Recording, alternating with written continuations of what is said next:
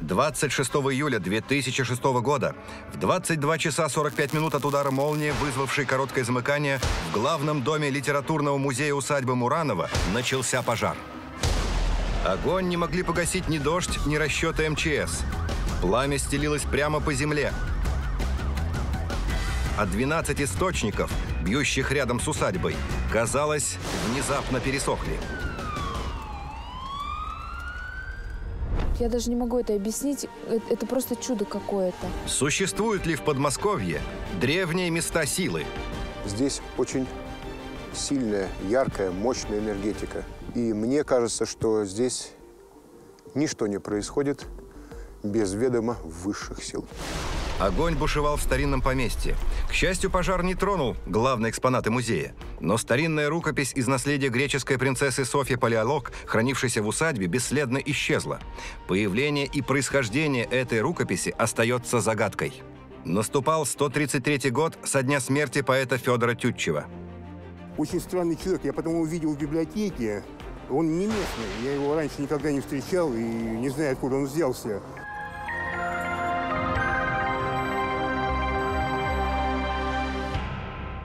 Однажды осенним днем москвичка Рима Ионова с дочкой возвращались из отпуска. Перед выездом женщина забыла заправить автомобиль и в пути обнаружила, что бензин на нуле. Очередная автозаправка оказалась закрытой. И в один момент э, просто закончился бензин. Я с ребенком в машине до Москвы километров 50. М, Ребенок начинает э, баловаться, нервничать. Понимая, что горючего до следующей заправки не хватит, Рима решила обратиться за помощью к местным жителям. Скоро она увидела указатель «Музей-усадьбы Тютчева» в Мураново. На подъезде к стоянке двигатель начал чихать и заглох. Я просто в отчаянии, не знаю, что делать, и вокруг никого. И мы увидели вывеску «Святые источники». Зашли туда, попили святой воды, погуляли. Очень красивое место. Рима Ионова с дочкой прогулялись по округе и вернулись к автомобилю.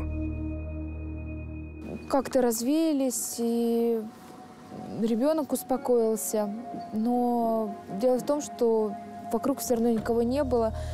Я не знала, что делать. Сидели в машине, думали, может быть, кто-то проедет. И просто от нечего делать я повернула ключ зажигания. Вы не представляете, это чудо, я даже не могу это объяснить. А, около пяти литров бензина у меня было в баке. То есть я смогла добраться до заправки. То, что произошло с машиной Римы, вначале показалось женщине невероятным. Но сознание упорно подсказывало версию о возможной технической ошибке электронного счетчика. Частенько в нашей жизни происходят маленькие чудеса. Вдруг пропадают неизвестно куда и появляются вещи дома. Были случаи, когда люди едут на машине, останавливаются у заправки, и машина потом не заводится. Почему же машина без горючего завелась? Возможно ли такое, вопреки всем законам физики? Э, Это связано очень просто. Такие феномены были известны при появлении, например, НЛО или в аномальных зонах э, в месте геологических разломов. Вот в, геологических разломах давление, э, в- при которых выделяются из земной породы, из этого разлома гигантское количество электрической и магнитной энергии. Удивило женщину соседство святого источника с литературным музеем. Запомнился удивительный прилив сил и одухотворенное состояние. Мы потом говорили с дочкой на эту тему, даже шутили. И решили, что как-нибудь туда обязательно съездим, потому что очень красивое место. Красота и богатая история усадьбы заставили женщину забыть о главном вопросе. Как мог заработать двигатель без бензина?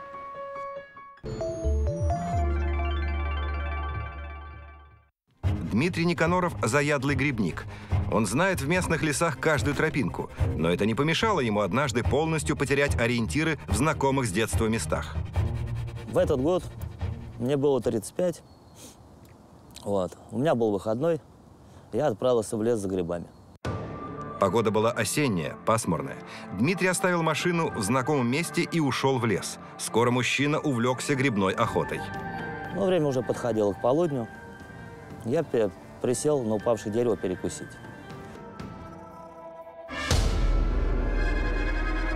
Тут боковым зрением увидел за деревом какого-то пожилого старика. Вначале Дмитрий подумал, что это такой же грибник, как и он. Но ни лукошка, ни ведра в руках у старика не оказалось. Местного лесника Дмитрий знал, но это был не он. С этим человеком грибник никогда раньше не встречался. Нет, я поздоровался, уз- спросил, что, де- что он делает в лесу. Он подошел ко мне, но вблизи я разглядел, что у него глаза, как у альбиноса, и борода по пояс. В разговоре седой старик сказал, что пришел в лес за чагой и лекарственными растениями, что он местный. А когда узнал, что Дмитрий приехал из Москвы, поинтересовался, когда землю давать будут. Он спросил, что у нас за власть в Москве. Ну, я шутливо сказал ему, что у нас демократия, олигархи. Спросил, сколько ему лет. Он сказал, не помню, родился в год Александра Освободителя. Дмитрий удивился, но решил, что старик шутит. Скоро они вежливо попрощались и разошлись в разные стороны. И тут произошло еще более удивительное. Мужчина обнаружил, что находится в совершенно незнакомом ему месте. В местных лесах, находящихся между рек и озер, часто плутают люди, как рассказывают местные жители, при том, что самое интересное, даже по несколько суток люди не могут выйти из, по сути, небольшого леса, который они знают от А до Я, как свои пять пальцев. Мужчина пошел в направлении ближайшей дороги. Но чем дальше он двигался, тем гуще становился лес. Тогда Дмитрий повернул обратно. Я бы это связывал э, с тем, что э, энергетика места способна влиять на сознание человека. И когда человек идет э, по лесу, у него может э, происходить такая вещь, как э, изменение сознания. И у них происходит дезориентация на местности. Почему же человек внезапно теряет ориентацию? Исследователи геомагнитного поля Земли считают, в аномальных точках планеты существует магнитная аномалия. Сильнейшее излучение магнита в этих местах идет по границе невидимого круга. Стрелка компаса в таком месте будет вертеться по кругу, теряя ориентацию на стороны света. В височных долях человека находятся так называемые э, микромагниты. Это так называемые наши приборы ориентации по магнитному полю Земли. Попадая в аномальную зону, где существуют кольцевые магнитные аномалии, идет сбой наших природных компасов. Так значит, наш герой попал в аномальный магнитный круг. Как же вырваться за пределы этого гиблого места?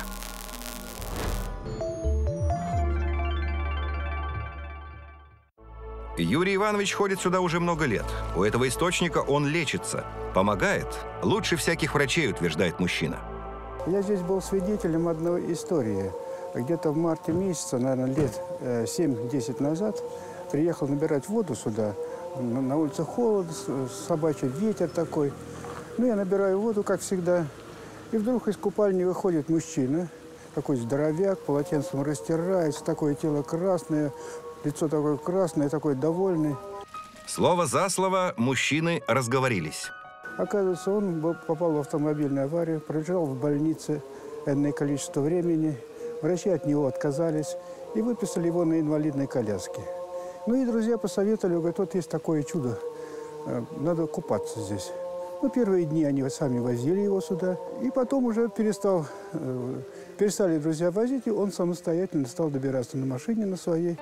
Выздоровление происходило на глазах, но не так быстро, как хотелось бы. Тем не менее, инвалид не отчаивался. Практически в неделю два-три раза ездил сюда купаться. В результате я видел сам своими глазами. Здоровый мужчина, ничего не болит, ноги все целые, здоровые, все, все, все выжило. На это у него шло около трех лет.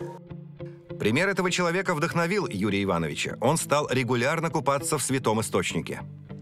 Лечение мурановскими водами помогает многим. Воду неоднократно брали на анализ. Специалисты выяснили, по составу она напоминает воду Ганга, реки в Индии, вода в которой никогда не загрязняется. Конечно, вода чудесная, вода чудесная. Врать здесь нечего. Когда началось восстановление храма Спаса Нерукотворного, верующие очистили место пропавшего родника и с удивлением обнаружили, что вода обильно струится из земли не в одном, а в 12 местах. И эти 12 источников имеют волшебные целебные свойства. Но всем ли помогает целебный источник? Смотрите далее. Какие зловещие тайны скрывает Мурановский лес? Она вот как будто не живая. Глаза потухают. Где совершались обряды черной магии? Здесь зарождался их культ, отголоски которого можно найти в ведах. Как действует старинное проклятие?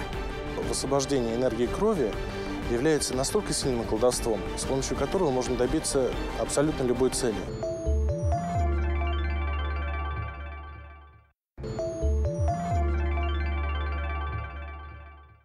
Мария Сорокина рано вдовела.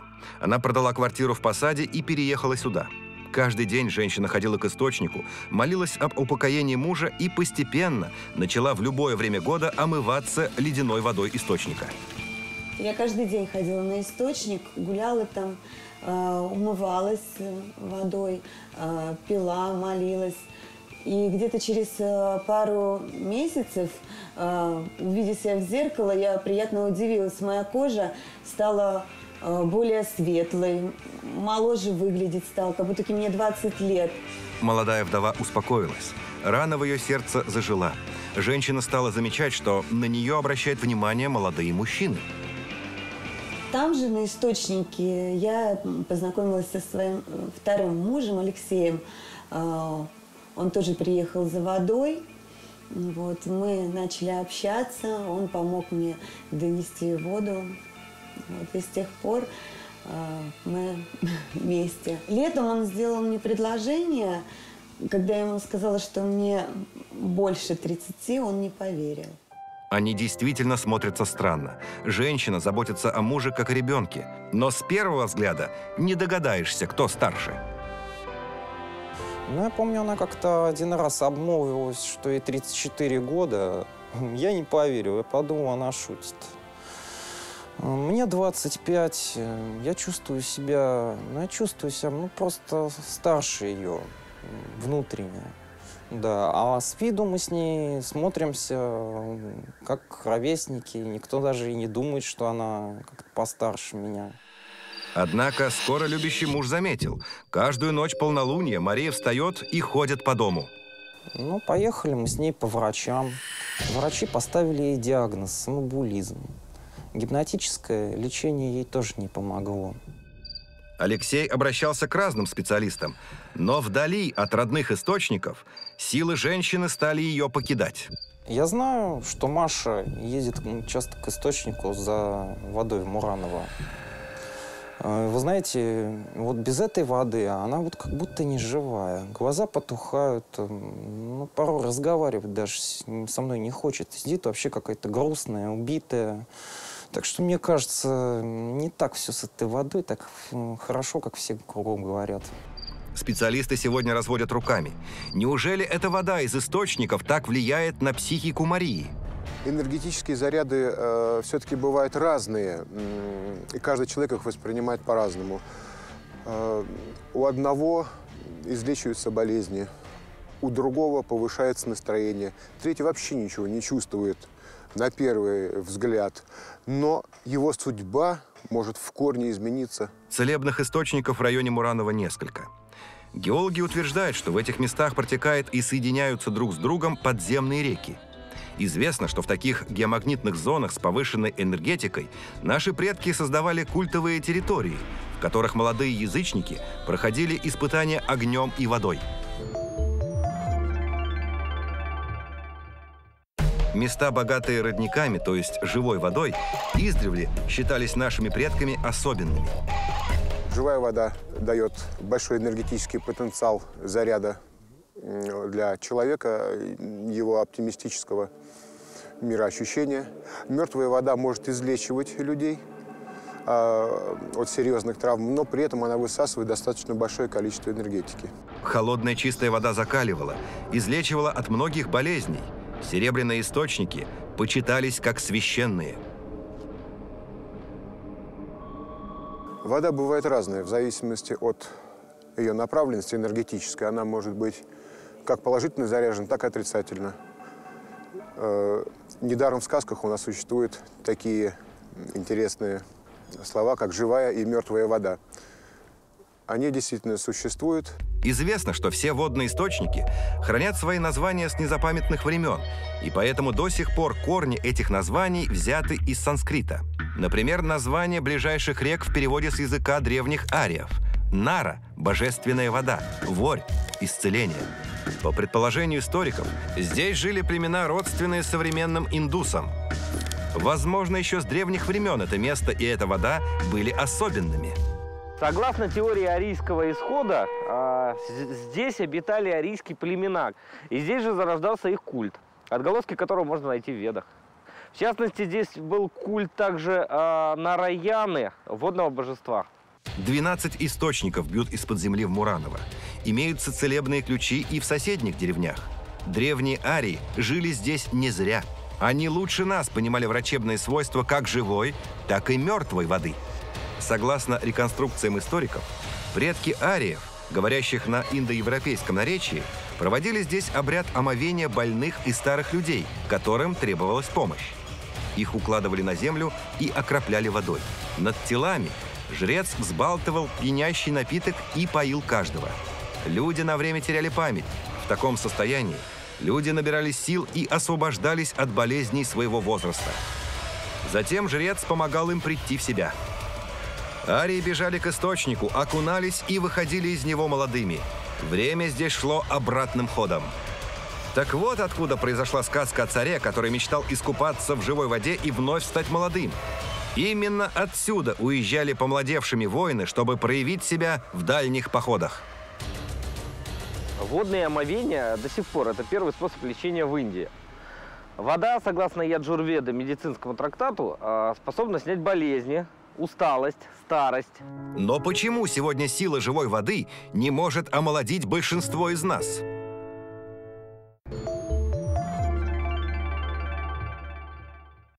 В конце 19-го, начале 20 веков на реке Талица, что значит «звонкая», стояла мельница, в которой жил и работал знахарь из семьи потомственных колдунов. В годы Первой мировой войны его сыновья ушли на фронт и сгинули. Дочка вышла замуж, но умерла при родах. Вскоре этот человек похоронил и жену. Местные жители считали его колдуном. Соседи его очень боялись. Говорят, даже хозяйство его подожгли. После революции местные жители конфисковали у старика мельницу, за что он их проклял. Проклятие это и легло на прилегающий к бывшей мельнице лес. Вот почему здесь иногда исчезают люди. Обряд проклятия у местных народов требовал обязательной жертвы. Самый сильный колдун отрубал на пне голову черному петуху.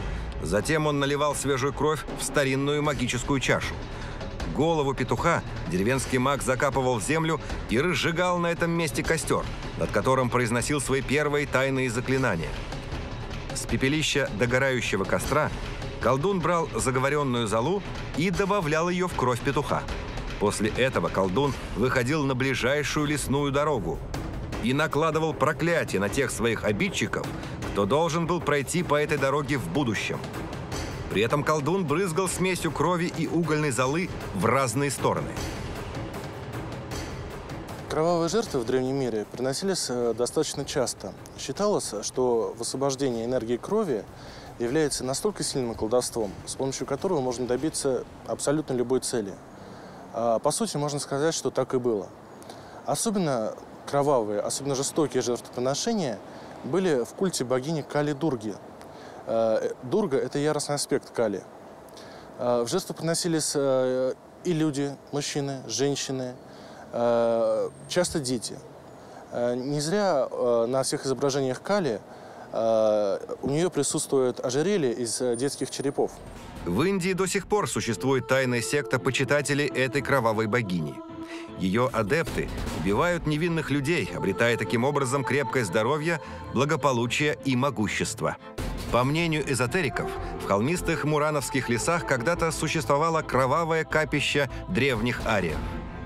Некоторое время назад э, язычники на этом месте приносили жертвоприношения, исполняли свои обряды и тем самым э, погубили святой источник, который был до этого. Муранаш в переводе с санскрита означает «оживший». Как утверждают биохимики, старинное проклятие способно вызвать изменение структуры воды. Каким-то образом после произнесения определенных звуков и совершения магических действий вода теряет свою обычную структуру и становится мертвой. Именно это и произошло со старым ключом Мурановского источника после войны.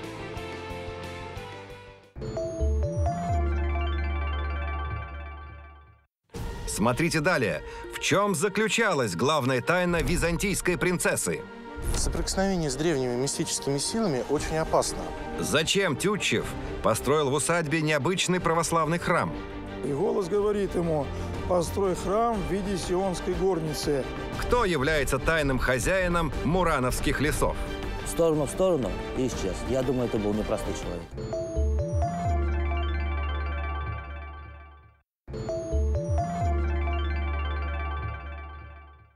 За многими переменами в усадьбе стояла семья Тютчевых. Согласно семейной легенде, поэт всю свою жизнь собирал старинные загадочные фолианты. Старинная библиотека Ивана Грозного – это целое наследие древних книг э, греческих царей. Софья Палеолог везла их из Византии в качестве приданного в Россию, как последний оплот православия. Иван Грозный так боялся за них, что разделил библиотеку и спрятал в разных местах – Часть фолиантов разошлась неизвестным образом по частным библиотекам. Что же это были за книги? Предки Федора Тютчева служили верой и правдой царю Ивану Васильевичу. Грозный царь только им доверял охрану сундука с наследством своей бабушки, византийской принцессы. Софья Палеолог, несомненно, была колдуньей. Она обладала большими мистическими силами, но не всегда умела их грамотно применять. В ее библиотеке э, были обнаружены очень интересные записи. Э, в частности, э, в некоторых из них а, были такие же символы, которые содержат в себе знаменитый фесский диск. Это обозначает то, что из Византии она сумела забрать какие-то очень необычные древние знания.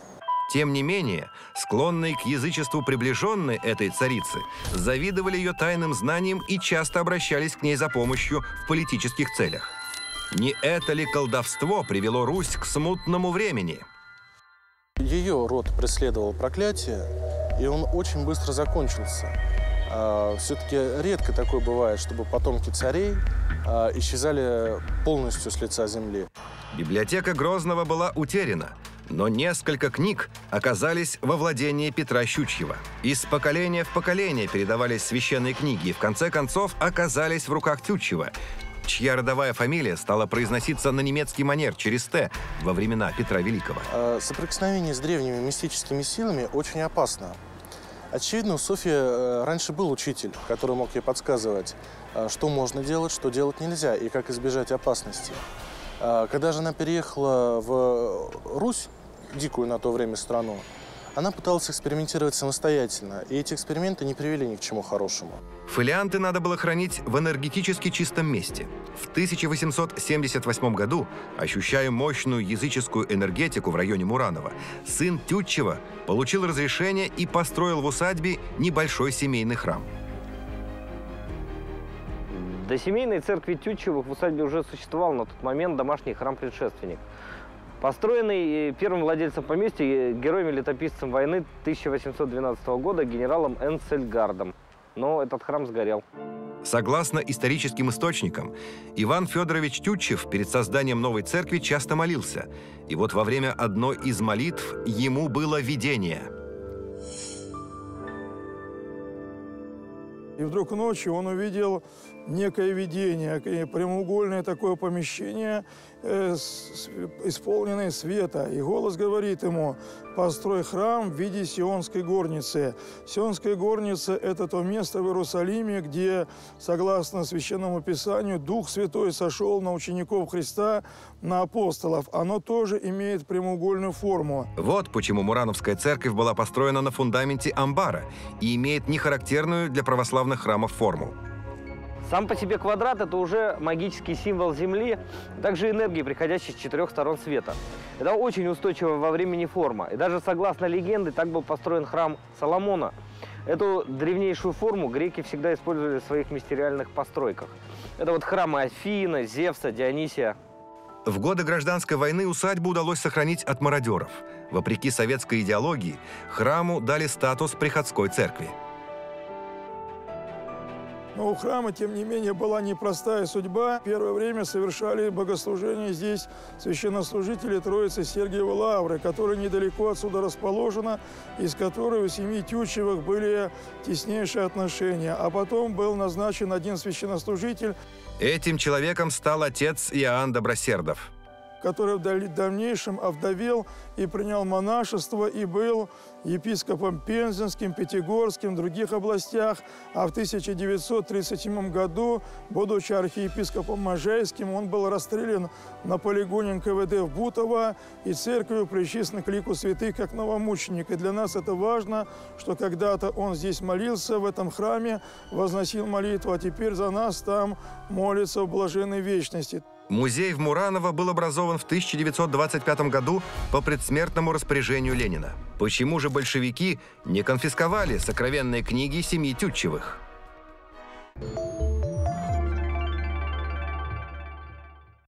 Дмитрий до сих пор с ужасом вспоминает заколдованный первозданный лес. Навстречу грибнику стали попадаться вековые вязы и дубы, а знакомой дороги все не было – я не верил своим глазам. Мне было страшно. Как будто мне в спину кто-то смотрит, оглянусь – никого. Дмитрий вспомнил о мобильном телефоне. Он решил позвонить и успокоить жену. Мобильник засветился, но соединение не произошло. Я пошел, куда глаза глядят. Вышел к оборевшему дереву. Оно в обхвате было метров пять. Таких дубов я еще не видел. Грибник плутал по незнакомому лесу уже больше десяти часов. Он сильно устал, болели ноги.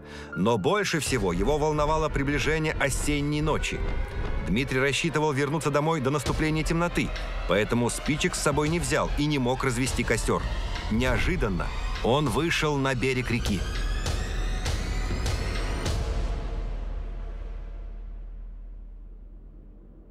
Увидел водяную мельницу. Отчасти обалдел, значит, Мураново где-то было рядом. Музей зачем-то мельницу там построил. Потом до меня дошло, что место там глухое, и вышел я, бог знает куда. Встревоженный и усталый Дмитрий был готов на что угодно, лишь бы найти дорогу домой. В отчаянии мужчина опустился на колени и стал молиться. Ко мне явился старец. Он сказал, что он меня выведет. Он шел впереди, я шел за ним. Темнело, почти, его не было почти уже видно. Дмитрий помнит, первое, что он увидел – купола квадратной церкви и яркий свет от усадьбы.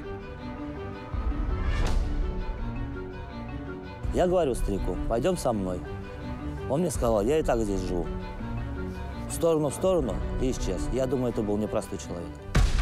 Кто же вывел Дмитрия из заколдованного леса?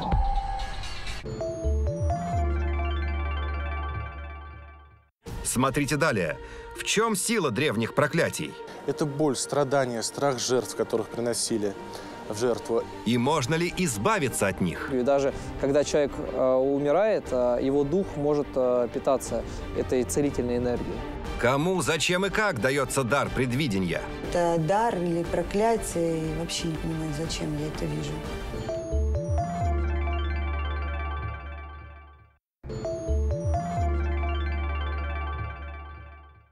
В трех километрах от музея-усадьбы по течению реки Талицы находится деревня Данилова. Здесь в XIV веке вдоль берега селились отшельники. Древние капища язычников э, накапливали огромное количество негативной энергии. Это боль, страдания, страх жертв, которых приносили в жертву. Это злоба самих э, магов и колдунов. Как правило, монахи селились на местах бывших языческих капищ. Это связано с тем, что в ряде случаев монахи стремились своим трудом и постом подавить негативную энергию черных, инфернальных божеств. Территория вокруг Муранова в старину именовалась Радонежской Святой Землей. Здесь находилась духовная родина великого святого Руси. Для нас важно, что это Радонежская земля еще в том плане, что вся Радонежская земля освящена молитвами и трудами преподобного Сергия Радонежского. Именно здесь ходил, молился, трудился преподобный Сергий Радонежский, его сподвижники, его ученики. Целебный родник, пробившийся здесь, люди тоже стали называть святым. Вода является очень сильным энергоинформационным источником и накопителем. Она не только поглощает в себя разного рода энергии, но и выдает их в окружающую среду. Чем более намоленное место, тем а, более целебная вода. Как известно, Сергий Радонежский имел дар находить целебные источники. Поэтому чудо повторного обретения святого родника в 90-е годы прошлого века прочно связали с принесением мощей преподобного Сергия Радонежского. При перенесении на это место мощей Сергия Радонежского его святость, святость этих мощей настолько была объемная и могучая, что источники открылись. Этот чудесный мощевик ранее принадлежал отцу Иоанну Крестьянкину из Псково-Печорского монастыря. Положительная энергия, которую накапливали святые люди, э, монахи и священники, пропитывала не только их душу, но и сохраняла в их теле. Э, таким образом, их мощи являются достаточно мощными талисманами, которые могут принести удачу, благополучие своему владельцу а также защитить его и выручить из каких-то страшных ситуаций. Иоанн Крестьянкин – великий русский старец. Он сохранял свою веру и в ссылках, и в лагерях. Позже он передал мощевик духовному сыну, а тот привез его в Мурановский храм. Эти мощи были когда-то украдены. И без сомнения именно они помогли своему хозяину выжить в сталинских лагерях. После принесения мощей в конце прошлого века в Мурановский храм Спаса Нерукотворного мистическим образом стали возвращаться утерянные и разворованные за 70 лет неверия иконы. Положительная энергетика этих мест снова заработала мощи Сергея Радонежского действительно обладает мощной энергией, и любой человек может служить неким аккумулятором, может подпитываться той самой энергетикой. Э, известный факт, что в храмах купол служит некий, некой антенной, которая из энергоинформационного поля, э, собственно, является неким проводником этой э, энергии космической, и человек может подпитываться, к примеру, когда у него упадок сил именно в храме. В начале 2012 года Ирина Михальян вывесила в интернете две фотографии. Эти снимки были сделаны в Мураново. Около женщины отчетливо видны странные силуэты из дыма. Похожие силуэты проявились и на фотографиях другой москвички, Ольги Колотаевой.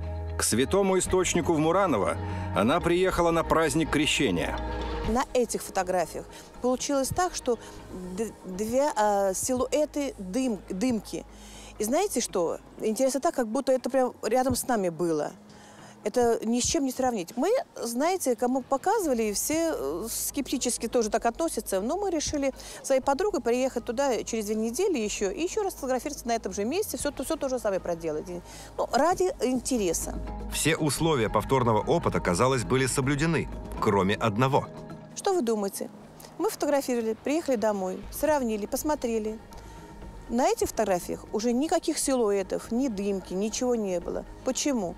Потому что тот раз мы фотографировались именно на день крещения. Женщина задумалась, а не являются ли странные фотоснимки каким-либо намеком, предупреждением свыше? В какой-то степени я вот этих все-таки снимков немножко ну, побаиваюсь, можно так сказать. Что же вызывает страх при взгляде на эти фотографии? Экспертная оценка показывает, на снимках изображены плазмоиды, энергетические сущности аномальных зон. Такое ощущение, что вот э, молодые люди зафиксировали э, пик активности аномальной зоны, и именно на этой фотографии все-таки э, изображена энергетика этого места. Фотография женщины не удивила нашу героиню Марию. Сегодня она утверждает, при посещении усадьбы ей тоже часто видятся странные образы вокруг источников. В последнее время со мной происходят какие-то странные истории. Сны, они, вещи э, сбываются. Э, в Мураново особенно часто я вижу образы около источника. Особенно меня испугало, когда я увидела нашего друга общего с Алексеем в столбе дыма. И потом он очень сильно заболел. Мария уверена, под влиянием источника у нее открываются паранормальные способности. Это же подтверждают и экстрасенсы, ведь у каждого человека есть свой энергетический потенциал, который можно раскрыть с помощью определенных ритуалов.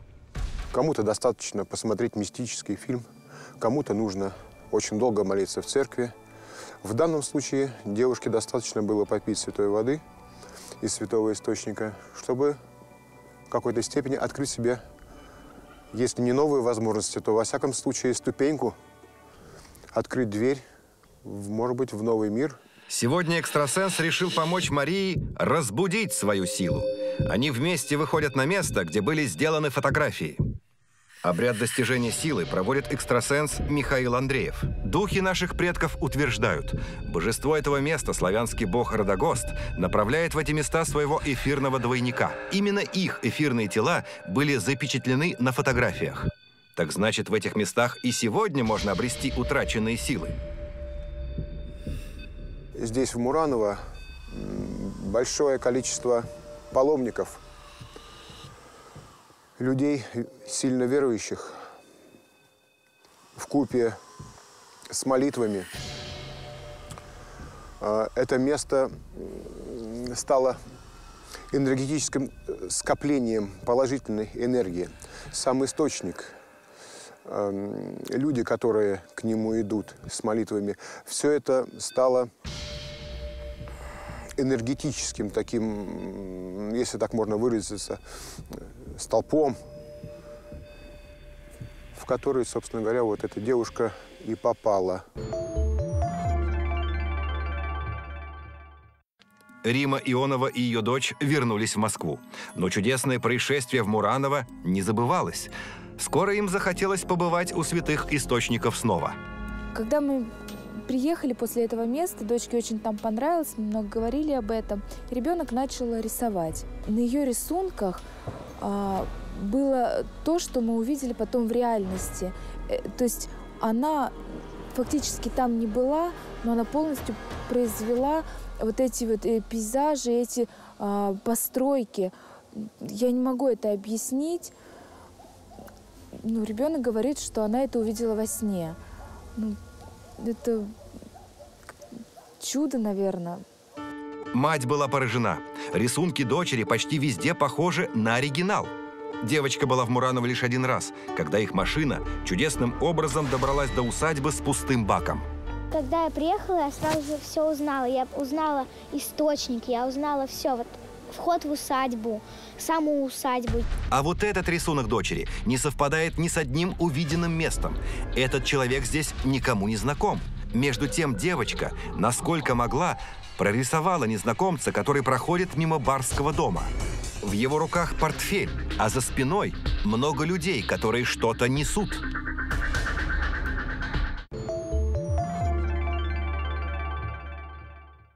Смотрите далее. Кто и зачем посетил библиотеку Тютчева перед пожаром? Он точно. Чудо или колдовство спасло музейные фонды? Температура была очень высокая. Зачем похитили старинный фолиант?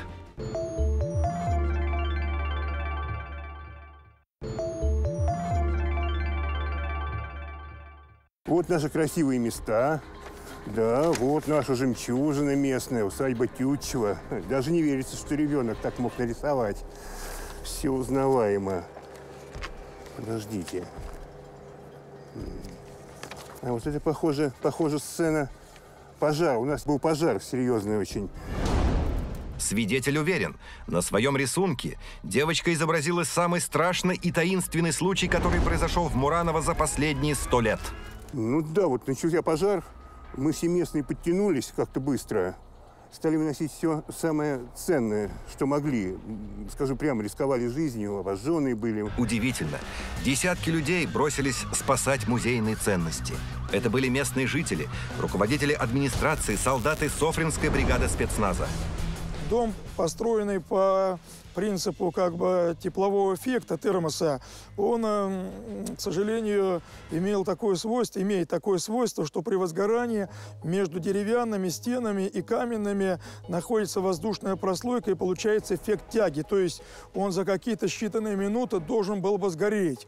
И чудным образом 90% экспонатов остались целыми. То, что произошло, показалось просто невероятным. Многие люди вспомнили о мистике в жизни и творчестве Федора Тютчева. Пожарные, те, с кем мне приходилось общаться, они весьма удивлялись, что э, при такой степени возгорания, как бы при таких условиях, не должно было сохраниться ни здание, ни предметы. Хотя в усадьбу и примчалось 12 машин МЧС, но локализовать пожар удалось не сразу.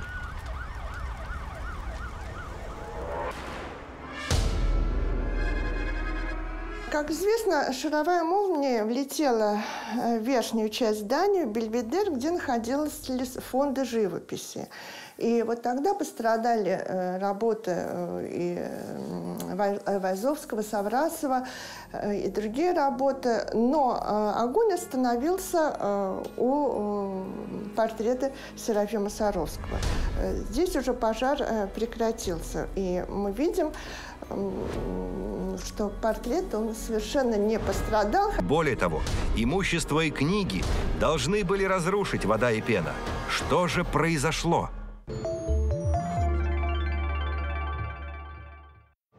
А человек вот этот мне напоминает, очень похож. Этого таинственного незнакомца со жгучим поразительным взглядом запомнили многие очевидцы. Вы знаете, я видел в библиотеке очень странного человека, явно не местный, а потом куда-то исчез после пожара сразу. Кем же был этот таинственный незнакомец? Вел он себя странно, постоянно ухмылялся.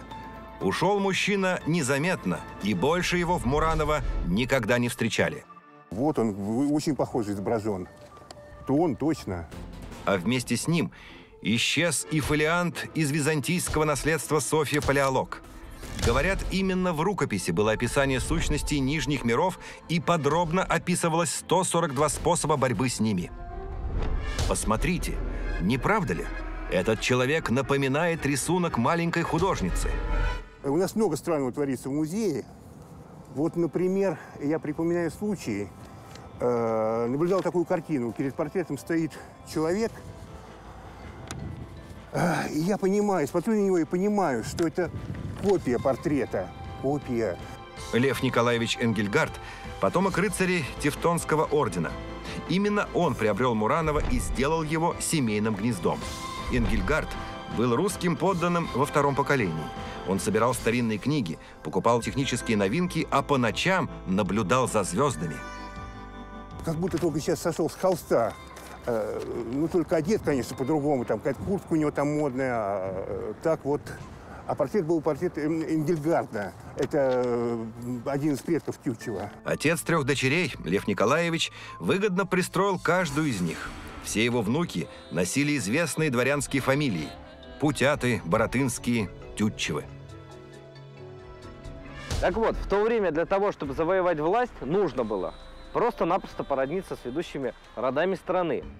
Породнившись с тремя известными родами, член масонской ложи, астролог и герой Отечественной войны с Наполеоном знал, к чему стремился.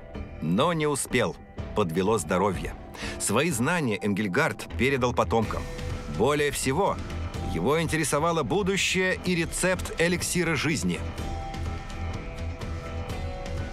Согласно его записям, он обладал современными астрологическими познаниями – по звездам он вычислял судьбу. Несколько лет запираясь в библиотеке, Лев Николаевич проводил страшные эксперименты по древним манускриптам Средневековья. По свидетельствам слуг, однажды вызванные им чудовища напали на него. Он пытался вызывать духов предков. У него были старинные книги иезуитов. И с помощью обрядов, описанных в них, он наводнил дом призраками. Потомок Тевтонца пытался перевести манускрипт об изгнании бесов но никак не мог им воспользоваться. Его состояние ухудшалось, и тогда его дочь приказала осветить источник, который тогда назывался барским колодцем, и привела отца к нему. Со временем он утих, смирился, и перед смертью даже вызвал к себе батюшка для причащения. Да, с помощью заклинания вызываются духи умерших людей или свободные духи, духовные существа, населяющие верхние миры. А, безусловно, и достичь успеха не так сложно, как э, может показаться. Многие люди могут это сделать, если в их руки попадают правильные обряды. Святые источники успокоили мятежную душу, но в усадьбе продолжали происходить странные явления. Общение с потусторонним миром очень сильно влияет на психику неподготовленного человека. Э, повлияло это и на него. Несмотря на то, что его запирали в комнате, стараясь оградить от э, общения с э, магическими книгами, он все равно ночью выбирался и пробирался в библиотеку для того, чтобы э, что-то найти в фолиантах Тютчевых. неизвестные личности беспокоили потомков Энгельгарда даже в период революции. Об этом Луначарский лично докладывал Сталину. В усадьбе имени поэта товарища Тютчева были задержаны два английских шпиона, которые пытались проникнуть в библиотеку. Красноармейцы товарищ Дуборезов и товарищ Забара несколько раз выпроваживали их. Потом нашли у одного из задержанных сосуд за спиртованной лягушкой. Месяц назад в усадьбе был задержан иностранный гражданин, который признался в том, что работает на финское и немецкое правительство. После задержания исчез из сарая, куда его закрыли. Предсельревкома Михаил Кашперов. 12 ноября 1923 года. Так кто же пытался пробраться в библиотеку Энгельгарда и Тютчева? А человек вот этот мне напоминает, очень похож. Оказывается, перед пожаром библиотекой Тютчева интересовался человек, похожий на первого владельца усадьбы. На вопрос, кто он такой, мужчина ухмыльнулся и продолжил изучать корешки книг. А через несколько дней случился пожар – как будто только сейчас сошел с холста. Э, ну, только одет, конечно, по-другому. Там какая-то куртка у него там модная. А, э, так вот. А портрет был портрет Энгельгарда. Это э, один из предков Тютчева. По нашим сведениям, следы утерянной рукописи из приданного Софии «Палеолог» появились в одной из европейских стран. Ее владельцем стал европейский потомок одной из ветви дворянского рода Энгельгардов – Западная ветвь Энгельгартов, как известно, владеет контрольным пакетом крупной энергетической компании. А эти люди – такие же заговорщики и масоны, как был их мурановский родственник 19 века. В нашем мире те, кто торгует нефтью, газом и электричеством, не просто самые богатые люди на планете, но и, возможно, самые влиятельные тайные кардиналы мировой политики. Вековые тайны Муранова заинтересовали их не зря.